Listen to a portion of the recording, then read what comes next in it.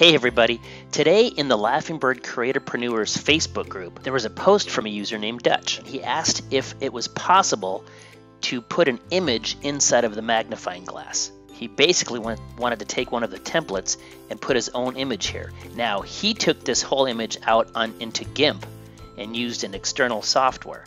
I wanted to try it with the creator to see if I could do it 100% with the creator software, and I did. So I wanted to show you really quick. So check this out. So in the new flat graphics template pack, he had chosen this template and he wanted to put an image in this circle.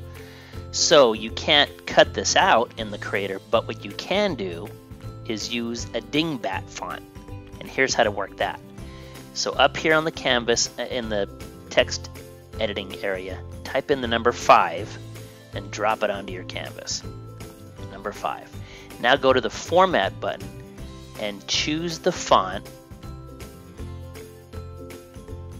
that looks like a bunch of circles and shapes.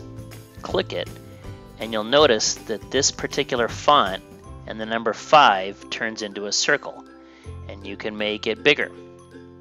Okay, so you can position it right here if you want to.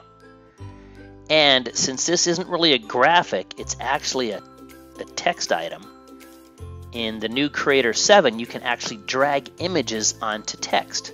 So let's say you have a picture of your family, and now that I've resized my circle, I can drag the picture right on top of it. Boom, look at that.